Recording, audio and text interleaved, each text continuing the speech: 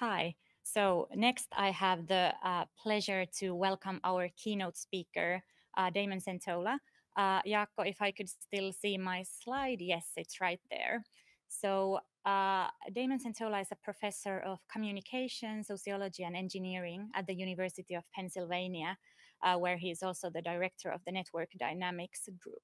And he's also the author of the books How Behavior Spreads and Change How to Make Big Things Happen can really recommend both of those.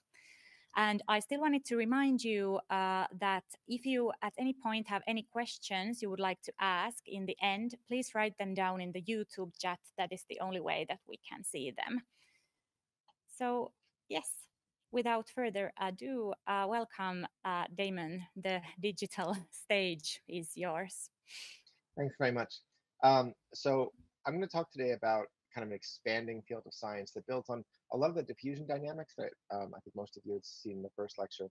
Um, and so I'm going to start with a little bit of a refresh and talk about the dynamics of networks and how contagion spread. And then I'm going to talk about sort of the new cutting edge science of how we're applying that to thinking about the capacity for human freedom and also what it means for our intelligence and our ability to make really good decisions.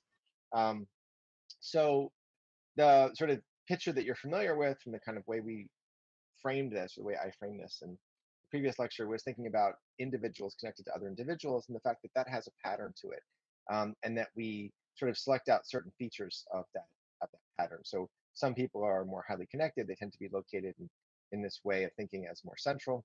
Um, and so when a person who's highly connected uh, is you know activated, it seems, it seems as though that person has the capacity to influence a lot of other people. But one thing to notice is that when someone is highly connected, like this person shown in the center, we call them an influencer or you know a social star. They have lots of ties, but those ties also have a structure that's sort of different than other kinds of networks. If you look in the periphery, this sort of cluster of networks on the right, those people, each individual has fewer ties, but also the ties are sort of connected to each other, these little, these little triangles, which means their friends of friends know one another. So it's not just that the in, the influencer in the center has more ties; it's that he has, uh, he or she has more weak ties going out in all directions. Um, whereas the people on the periphery have fewer ties, but those ties are clustered. And it's actually that difference between weak ties and, and clustered ties, or long distance ties and short range ties, that makes the difference for mobilization. And so this gives us kind of the classic intuition. When we think about what an influencer can do, what a highly connected person can do, we typically th- think of something like a virus, and that's the kind of classic model of simple contagion, which is you think of like the way a disease spreads. And we've um, sort of generalize that metaphor to thinking about any kind of technology or idea like a meme or viral video. And we have a very strong intuition that if this person here, you know, in the center of the network becomes activated, that a, you know, a contagion dynamic would spread from them sort of in a, in a very fast way all the way out to the network. And the, the point of the first lecture was to really highlight the fact that that is true and it works very well for simple contagions like viruses um, and, and viral videos. But things change dramatically when we shift from simple contagions to complex contagions. Now remember, a complex contagion is anything that requires social reinforcement, anything there's risk or social doubt. Anytime the behavior change contradicts existing norms, then there's pushback. And the interesting thing is when there's pushback, it's not just that the simple contagion influencer strategy won't work as well. It's that oftentimes there's a backfire effect where by trying to initiate change with an influencer, you actually create more resistance to the change than there had been initially.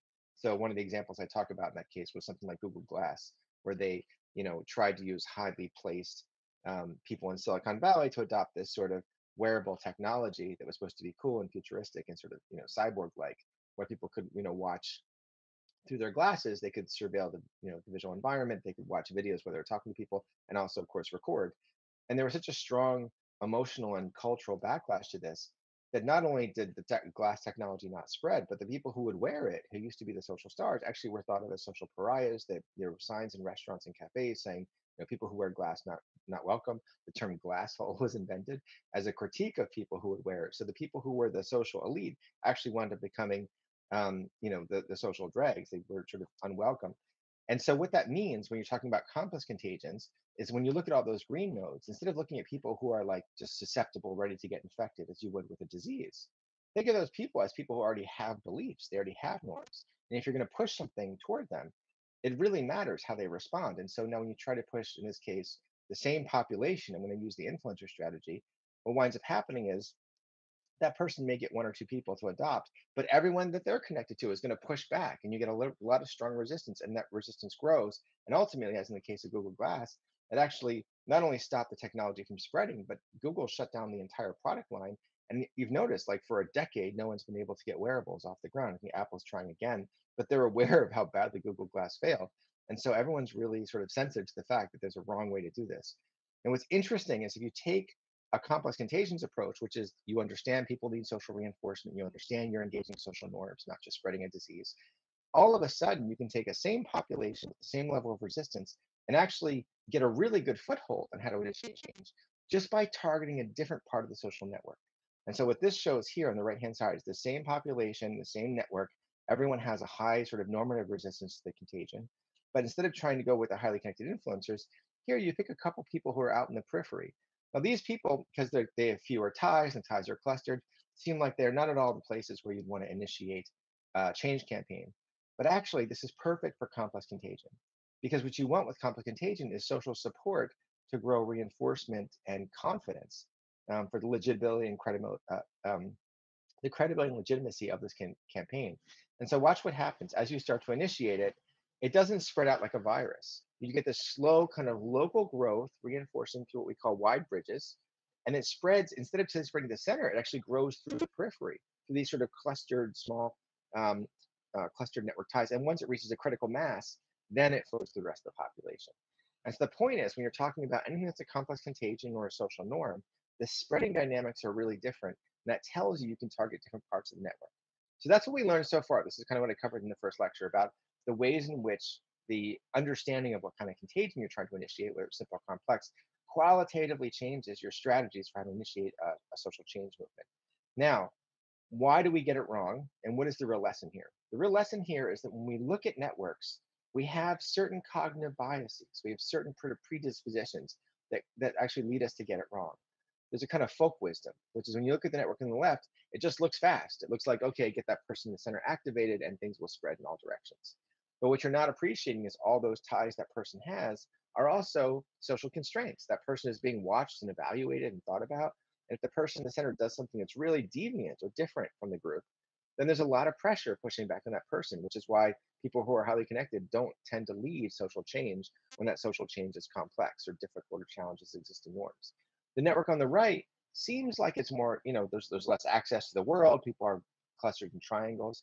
But if you get a small critical mass within this group on the right, this kind of network is actually the better place to initiate change. You can grow a critical mass very effectively with only a few adopters, and they can reinforce each other and it can spread through the network. So now we've learned a really big lesson about how our intuitions lead us in the wrong way. We see the network on the left, it looks fast, but that's only for simple contagions and viruses. For complex contagions, the network on the right is better. So now I want to take all of that, which is what was discussed in the first lecture, and I want to talk about what that means for a brand new problem we haven't thought about. Because all we've talked about so far is how social change and contagion spread. But what we haven't thought about is sort of what that means for us and our lives and our ability to sort of be more effective citizens, to be free members of society, and ultimately to be more intelligent members of society, to make better decisions within our organizations, within our communities, and within our nations. How do these features of network structure and the influences around us affect our intelligence and our capacity to be, you know, free and capable people? And what I want to say, the sort of interesting punchline, is that the lessons I just reviewed about simple and complex contagion generalize to the question of intelligence. Where when you look at the network on the left, the per person in the center looks like they have a tremendous amount of power. They have ties going in every direction. You say, well, that person's pretty free. They can influence a lot of things and they can make decisions based on all the information they gather. And again, I want to say there's a really strong sort of intuitive error we make. The network on the right, where people are constrained in these little clusters, looks like people are, are less free, but it also doesn't give us any particular insight about intelligence. I want to say that the network on the right is a network that will actually make people more intelligent. They'll make the decisions better. And I'm going to walk you through this now. So I'm going to talk about this notion of intelligence and freedom, the reasons when we fail, when we make bad decisions, why that is, and how the structures, the networks we're embedded in, actually make us freer and smarter. And what this means when we think about things like social engineering and the way people are using nudges and incentives and so forth to try to encourage people to make good decisions or smart decisions. I'm going to talk very briefly about what I call the wisdom of the crowds and this notion of structural intelligence. I'm going to talk about an experiment we recently ran, in which you're going to see some sort of striking results and how we can take people on social media where they're completely immersed in a universe of misinformation and disinformation, and how by structuring their interactions on in these web communities, you can actually demonstrably increase their ability to sort of understand hard problems, which I think without this kind of science would have seemed impossible. And I'll talk about the implications for how we build public policies and do social engineering.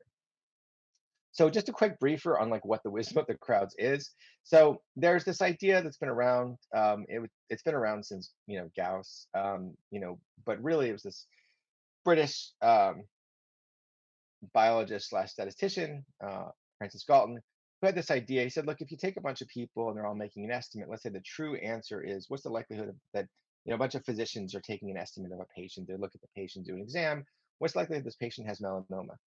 Well, the true answer may be 60%. Okay. But if you take a bunch of clinicians, here, this is the clinicians shown as, as a bunch of individuals taking estimates, and you lay out their estimate distribution, um, you can say, well, how, you know, how close was each clinician to the right answer? You could say, well, on average, clinicians were off by about 20 points. Some guessed over, some guessed under, under, but there's a sort of average level of individual error. Now, the, the, the genius of the wisdom of the crowd was to say, well, sure, there's average individual error. You know, you guess 20 below, I guess 20 above. So we each have an error of 20. But if you combine all of the errors, then someone who guessed 20 below and someone who guessed 20 above, actually on average, that plus 20 and minus 20 equals zero. So if you add up people's errors, then all of a sudden the group average is actually much better than the individual average. And that's sort of this notion of the wisdom of the crowd and that's been around for a century and scientists still in, in 2024 scientists are still using this argument about the wisdom of the crowd being a good way to solve problems about climate change and global crises and understandings of um, all kinds of sort of hard to think about things like stock prices can we use the wisdom of the crowd aggregate a bunch of people's you know independent decisions and come up with some group average that's smarter than the individuals it's true mathematically that this works but there's a big problem and the problem is social influence so when people start to talk to each other, all of a sudden their independent estimates, which one person would have guessed 20 below, one person gets 20 below. So, you know, plus 20 and minus 20 equals zero. So now you go from each person having some error to every, the group having no error. What happens when people talk to each other is that people start to get influenced by their peers. So now instead of it being plus 20 and minus 20, well, now it's now it's sort of plus 20 and plus five. Everyone starts to get pushed in the same direction. And so someone who's you know, a little bit more influential can pull the population, everyone, in the same direction. And when this winds up happening, this means the error of the group, the entire distribution of estimates shifts. They're no longer independent. And now what you get is an increase in error. And so once there's sort of this kind of social influence process, not only do individuals get worse, but actually this whole sort of beautiful wisdom of the crowd idea that, you know, on average we get the right answer, that actually disappears too on average, actually, the group is much worse than individuals were at the beginning. So there's been this literature for the last 30 or 40 years arguing very, very compellingly, and you know, popular book by Surowiecki was called The Wisdom of the Crowds. He makes this argument, and a lot of papers were published, you know, in top journals making this argument that if you let people interact in social networks, it really undermines the wisdom of the crowd. So this is where um, all of my work and the research that my team does has picked up. And the, the key question we've asked, and this will build naturally on, on the th- topics you've just seen, is to say this. Well, certainly social influence can lead the crowd astray and make the group average worse if you know you have someone who's very charismatic leading everyone in the wrong in the wrong direction. But what you've ignored or what the sort of literature has overlooked is that social influence isn't just sort of free floating and vague. It always happens within social networks. So what happens if we change the network structure of social influence? How does that change this process. Certainly, there can be some situations where the sort of social persuasion or social influence can undermine the wisdom of the crowd. But, and this is the big question, are there other situations in which by changing the structure of the network, when people learn from each other, it can actually improve the wisdom of the crowds, making it even smarter than it would have been just by taking their independent judgments. This is something that for the last century it hasn't occurred to anybody that the wisdom of the crowds is actually a fairly low baseline for human performance, and we can do much better. So what we did is we looked at the sort of structure of different networks. And the key thing here is centralization. What's to say, how much power does each person have in the network? that winds up being the most important thing in understanding the wisdom of the crowds and collective intelligence. On the left-hand side, you see a network is called egalitarian. What it means is that everyone has the same number of ties. And this is basically a random network, but everyone has connect, four connections. So because everyone has the same number of ties, there's not really a center to the network. There's just a lot of equality, and um, there's no power differential between one person and another. But as you can see, as you move to the right on the scale, a, a fewer and fewer people have more and more connections. To the far right, which is a highly centralized network, where one person has the vast majority of connections. And as you can imagine, that person then has disproportionate influence over the flow of information. And the question was by changing the sort of structure of peer learning in this way, would this directly affect everyone's capacity to make intelligent decisions? Now, at the outset, you've got the same people answering the same question. So it's not really clear why changing the network would make that much of a difference because everyone's just talking to their strangers and strangers don't have special information. So why would the network make such a difference? Well, the first thing we found is that it does. If you make networks highly centralized in this way, um, then the person in the center really can push the wisdom of the crowd in the right or wrong direction. And more often than not, the person in the center, even if they're really accurate on one topic, we can imagine um, a very senior chief surgeon who might be more accurate on melanoma diagnosis, making a really good decision and influencing their peers, and influencing the collective intelligence. But then if you keep asking that person more and more questions, they still tend to stay centralized. and that's a position of power. They don't give it up. And so when you move to different kinds of questions, when now we're talking about, you know, ED um, ad- admittees with a broken bone or other people with like chronic, you know, inflammatory diseases like asthma, that person will still maintain a set pers- uh, position of centrality, but their expertise will be different. And if you iterate over enough questions, what you tend to see is that networks that are highly centralized, on average, tend to actually reduce the equality of performance and the intelligence of the collective.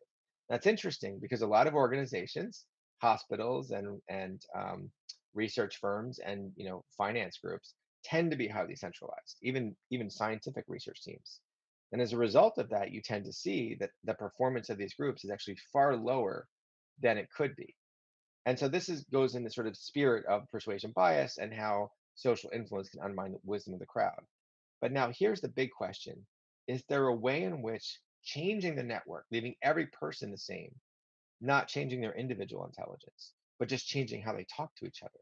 By changing the flow of information between them, could you turn this on its head and actually make the social persuasion part of the sort of interaction actually beneficial for intelligence? And so here, this is where we looked at the completely egalitarian network, letting people talk to each other and share information freely. So now, in this case, people who are lower on the status hierarchy, lower on the totem pole, now have equal influence. This, this creates a much greater diversity of voices and a, a diversity of voices across you know demographics across gender across race but also across things like training and things like level of experience and what's interesting is sometimes the people with the least experience have ideas that no one's thought of and because it's egalitarian now everyone has this sort of influence so rare ideas or unusual um, ways of thinking can now have influence on how people are thinking about a problem and the most compelling finding is that that can dramatically improve the intelligence of the whole. Everyone gets smarter by virtue of a structure that increases the influence of diversity. And so I'm going to talk to you about one of these studies, but just to give you some reference, over the last uh, five years, we've published a number of these in the Proceedings of the National Academy and in Nature, where we've sort of looked at economic beliefs, Democrats and Republicans talking about climate change, about immigration. We've looked at physicians, looking at medical errors and implicit racial and gender bias in physicians. And in every single one of these studies, we've consistently found that moving populations from centralized networks to these egalitarian networks consistently improves the collective intelligence of the and that's again just from regular democrats and republicans debating climate change to like professional clinicians evaluating real patient cases so it's this broad sweeping implication that the networks control the intelligence of populations so i want to talk just briefly about something that we all think about today which is okay sure if you're going to connect people differently maybe there's ways in which connecting them could improve their intelligence.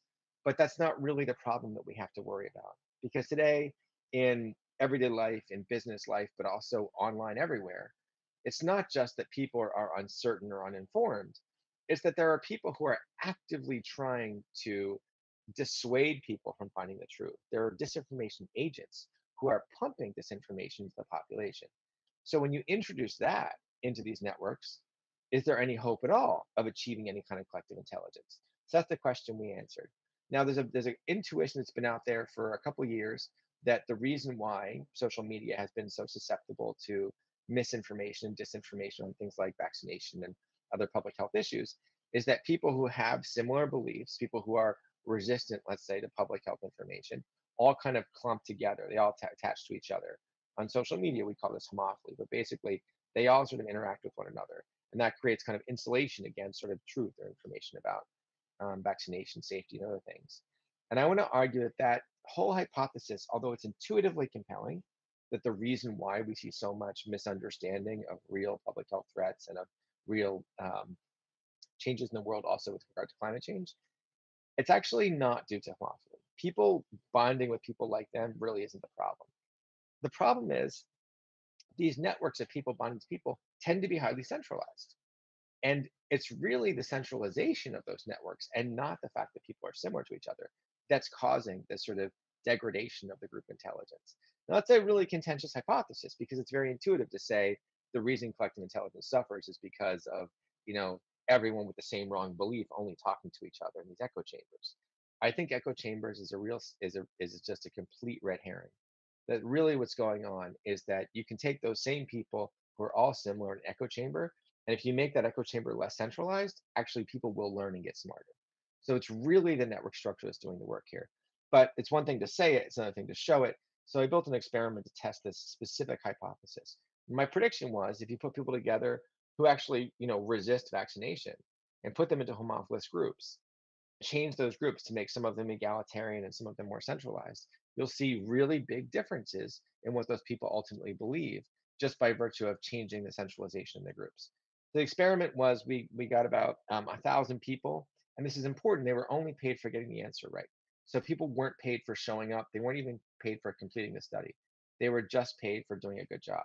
So everyone had those same incentives to actually care about doing, you know, doing it well. Um, people were pinged on an app, and then people were randomized. This will make sense given what I've just described. There's homophilous populations in the U.S. There's a lot of resistance among African Americans to vaccination. So these were African Americans who are unvaccinated, and we put them either into a centralized network with one person in the middle or an egalitarian network where everyone equal connectivity. And just to control for the population, we also did the same thing with diverse populations. So all vaccination levels, all races mixed together, again, either centralized or egalitarian. Um, and in the center of each network, um, you can see this red node. The red node was a disinformation agent who actively, um, every single interaction of, um, with the, their peers, they actively promoted false information. They were aggressively saying falsehood. So this is real social media. We have someone um, trying to convince everyone of the wrong answer. And so now the question is clearly the centralized network should get worse. We should, if this if this social media environment we built is real, we really should see the worsening of beliefs just like we do on social media. The question is we move people over to egalitarian networks, even with that disinformation agent, what happens? Does it just kind of slow down the sort of worsening of intelligence, or does something else happen? So let's see. So um, we ran this for three rounds, and the agent, disinformation agent, pumps in really in- incorrect information. So we asked about how um, bad is the vaccine? Are there lots of you know severe reactions, which is anaphylaxis, to getting vaccinated? The, the big concern everyone has is that the vaccine is dangerous. So the correct answer is out of 10,000 patients, about 35 have a bad reaction. But our disinformation agent said 8,000 out of 10,000 and kept saying that. And so everyone in the network saw that sort of outrageous number and then used that possibly to evaluate their thinking. So people would see they get the opportunity to evaluate the question independently without any social influence. On the second round, they'd have a chat with other people in the network, talk about it in a very free form way. We also got to look at people's sort of emotion, the way they thought about it, what they felt about it. And then they would get a second round in which they could reevaluate the question, but now they could see the answers given by their peers in the social network. And then they would chat again a second time, and then they get a third round where they could see their peers sort of updated answers and then either ignore that information or use it. And the final round, they'd give a final response, and that would be the one that we would use to evaluate their performance. So in essence, we ran this entire experiment eight times. So each trial of the experiment had, you know, the centralized networks that were either, you know, diverse populations or the homophilous, unvaccinated African Americans. or there are egalitarian networks with diverse and homophilous. So his trial had four independent networks, and we replicated that eight times. So that's 958 subjects, but actually only 32 data points because we treat each network as its own independent observation. Our question is, on, on, on average, does the intelligence of the network increase or decrease as a result of interacting in these different structures? So what you see is that in the centralized networks, I think as expected, because the influence of the central actor, people get much worse. As collective intelligence goes down, people believe that vaccines are more dangerous, and after three rounds, they're much more they're much less likely to get vaccinated. That's what we'd expect. Well, the question is, you get the same disinformation agent in the egalitarian networks. Would that just slow down or slightly reduce the effect of this disinformation? What actually happened is the egalitarian networks reversed the effect, completely eliminating the disinformation agent, and actually people got smarter. People in those networks started off with some bias against the vaccine, and by the end of their deliberations, they actually were much more accurate in their beliefs about vaccine safety even though there was a different disinformation agent. And then we break this down by homophily, it's even more interesting. Because in, in the diverse networks, okay, the centralized agent made things worse. The egalitarian networks made things better, but there's not a significant difference. In the homophilous networks, things actually got a little bit more significantly worse, which is kind of what people have been complaining about. That homophily on social media does increase hysteria about vaccines and lower intelligence. And that's true. People's error increased more in homophilous networks. But if you change the network structure to egalitarian, all of a sudden the homophilous groups with the people who are like each other, all unvaccinated, all with fears about vaccines, those groups actually became the most intelligent. They had the greatest improvement in collective intelligence just by virtue of talking to each other. Remember, there's no moderator, there's no public health actor. The only person in these networks is a disinformation agent saying vaccines are dangerous. Nevertheless, the, homo- the sort of egalitarian structure made these homophilous populations much more capable of learning and thinking together and actually arriving at the right answer. Um, one of the most interesting things when you look at the sort of the chat and what people said, there's some expletives in here. I apologize for that. Is that the actual conversation was exactly what you expect, the sort of free flow conversation. But the tone of the conversation, in terms of how aggressive it was, how many expletives people used, how friendly they were, actually was different from structure to structure, where the centralized networks actually had more aggressive, kind of angrier conversations, and everyone became less accurate. And the egalitarian networks, those people actually had friendlier, more interesting informational conversations, and people became more accurate. So the structure of the network here, which seems like something that really shouldn't matter because the people are the same people, it actually qualitatively changed how they felt and their sort of emotional experience of civility, and that translated into a much more accurate understanding of the outcomes. And so the sort of implications here are that network structure and centralization actually reduced intelligence and increased anger, while egalitarian structures improved intelligence and actually increased civility. The solution here is when we're thinking about populations who are under threat, right? Like we think of as vulnerable populations like minorities in the US, who are under constant attack in many different ways. And those populations will tend to centralize. That's sort of a natural structural adaptation that really is a big problem for their ability to sort of internalize new information and make smart collective decisions. But I want to emphasize that everyone's attributed to, to homophily. And, you know, in observational data, you know, the structure of the network and the composition of the network, homophily, centralization, all this stuff is combined in a very messy way in, you know, observational online data. You can't disentangle them. But an experimental strategy like this, you can actually tear apart homophily from centralization and show that homophily by itself actually only amplifies the network. So the network centralized, then homophily will make it much worse. But if the, the, the network is egalitarian, then homophily will actually improve the collective learning intelligence of the population. And this is important because a lot of the work that we do in data science today is looking for like large scale correlations and we're trying to sort of infer causation without any real sense of what the mechanism is. One of the real benefits of this kind of science is that once we identify the mechanism, we can say, for certain, although homophily is correlated with centralization in online networks, homophily isn't the mechanism it's actually centralization by itself that's the mechanism. And we can show that with diverse populations and homophilous populations. So by doing that, that gives us real causal control over the kinds of recommendations we would make, make in a policy setting. So with that, I'll close. This is the book that was just mentioned, um, and I'm happy to take your questions.